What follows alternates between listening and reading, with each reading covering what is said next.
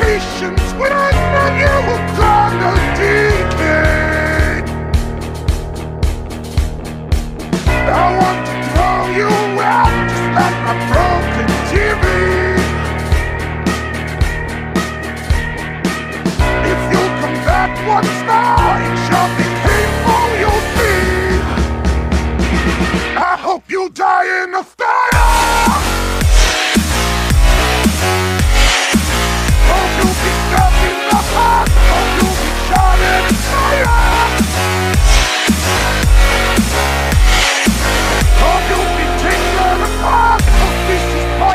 Messiah!